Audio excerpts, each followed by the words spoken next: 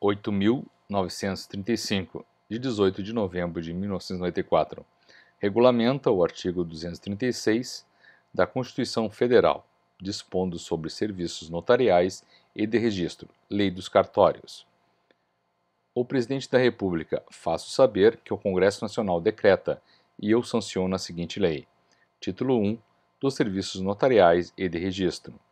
Capítulo 1 Natureza e Fins. Artigo 1 Serviços notariais e de registro são os de organização técnica e administrativa destinados a garantir a publicidade, autenticidade, segurança e eficácia dos atos jurídicos. Artigo 3 Notário ou tabelião e oficial de registro ou registrador são profissionais do direito dotados de fé pública, a quem é delegado o exercício da atividade notarial e de registro. Artigo 4 Os serviços notariais e de registro serão prestados de modo eficiente e adequado em dias e horários estabelecidos pelo juízo competente, atendidas as peculiaridades locais, em local de fácil acesso ao público e que ofereça segurança para o arquivamento de livros e documentos. Parágrafo 1. O serviço de registro civil das pessoas naturais será prestado também aos sábados, domingos e feriados pelo sistema de plantão. Parágrafo 2. O atendimento ao público será no mínimo de 6 horas diárias. Capítulo 2 dos notários e registradores. Seção 1 dos titulares. Artigo 5. Os titulares de serviços notariais e de registro são os: inciso 1, tabeliões de notas; 2, tabeliãs oficiais de registro de contratos marítimos; inciso 3, tabeliãs de protesto de títulos; inciso 4, oficiais de registro de imóveis; inciso 5, oficiais de registro de títulos e documentos e civis das pessoas jurídicas; inciso 6, oficiais de registro civis das pessoas naturais e de interdições e tutelas. Inciso 7. Oficiais de registro de distribuição. Seção 2 das atribuições e competência dos notários. Artigo 6 Aos notários compete: Inciso 1. Formalizar juridicamente a vontade das partes. Inciso 2.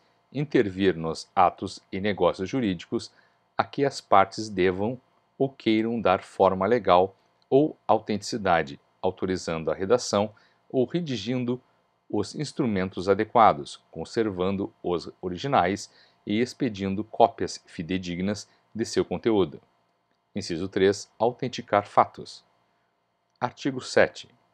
Aos tabeliãs de notas compete com exclusividade, inciso 1, lavrar escrituras e procurações públicas, inciso 2, lavrar testamentos públicos e aprovar os cerrados. Inciso 3. Lavar atas notariais. Inciso 4. Reconhecer firmas. Inciso 5. Autenticar cópias. Parágrafo único. É facultado às tabeliãs de notas realizar todas as gestões e diligências necessárias ou convenientes ao preparo dos atos notariais requerendo o que couber sem ônus maiores que os emolumentos devidos pelo ato. Artigo 8 É livre a escolha do tabelião de notas, qualquer que seja o domicílio das partes ou o lugar de situação dos bens objeto do ato ou negócio. Artigo 9. O tabelião de notas não poderá praticar atos de seu ofício fora do município, para o qual recebe delegação. Artigo 10.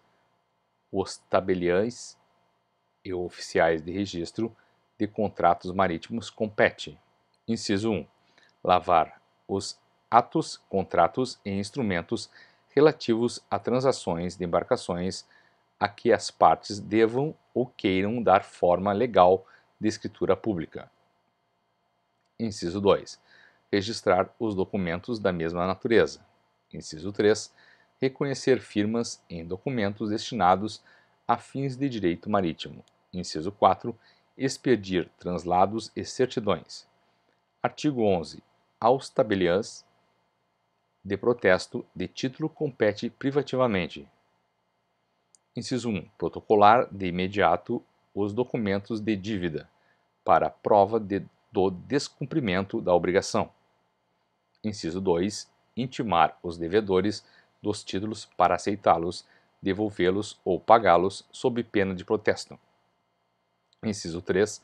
Receber o pagamento dos títulos protocolizados, dando quitação.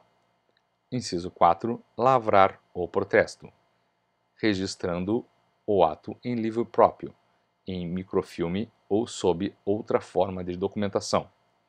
Inciso 5. Acatar o pedido de desistência do protesto formulado pelo apresentante. Inciso 6. Averbar. A linha A. O cancelamento do protesto. A linha B.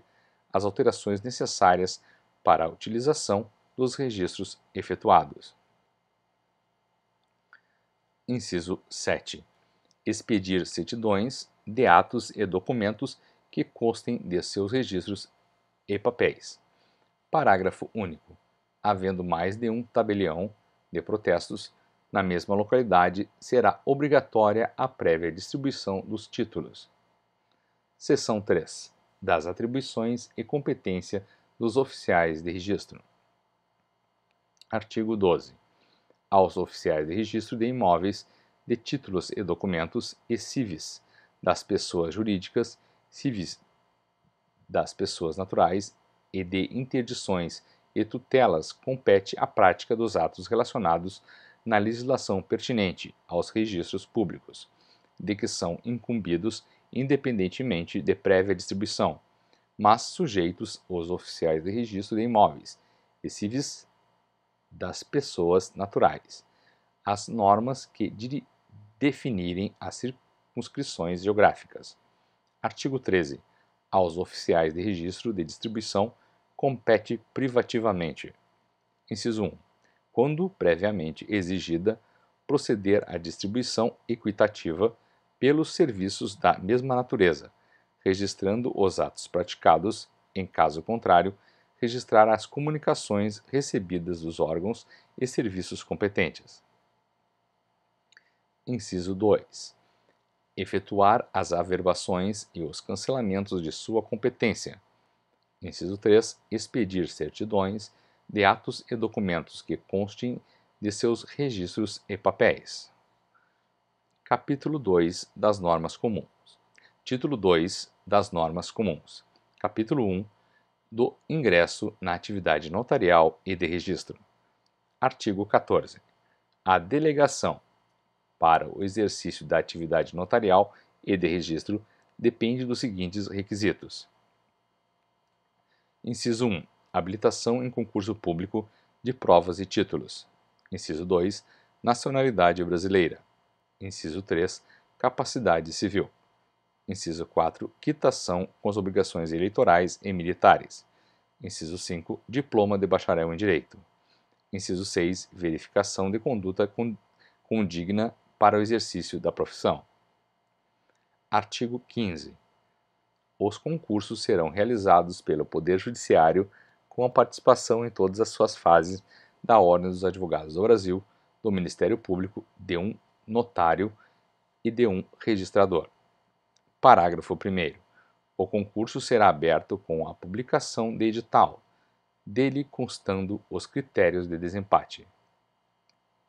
Parágrafo 2 ao concurso público poderão concorrer candidatos não bacharéis em direito que tenham completado até a data da primeira publicação do edital do concurso de provas e títulos 10 anos de exercício em serviço notarial ou de registro. Artigo 16. As vagas serão preenchidas alternadamente duas terças partes por concurso público de provas e títulos e uma terça parte por meio de remoção mediante concurso de títulos, não se permitindo que qualquer serventia notarial ou de registro fique vaga, sem abertura de concurso de provimento inicial ou de remoção, por mais de seis meses. Parágrafo único. Para estabelecer o critério de, do preenchimento, tomar-se-á por base a data de vacância da titularidade ou quando vagas na mesma data aquela da criação do serviço. Artigo 17. O concurso e remoção somente serão admitidos titulares que exerçam atividade por mais de dois anos. Artigo 18. A legislação estadual disporá sobre as normas e os critérios para o concurso de remoção. Parágrafo único. Aos que ingressarem por concurso, nos termos do artigo 236 da Constituição Federal, ficam preservadas todas as remoções reguladas por lei estadual ou, e, ou do Distrito Federal, homologadas pelo respectivo Tribunal de Justiça, que ocorreram no período anterior à publicação desta lei. Artigo 19. Os candidatos serão declarados habilitados na rigorosa ordem de classificação no concurso.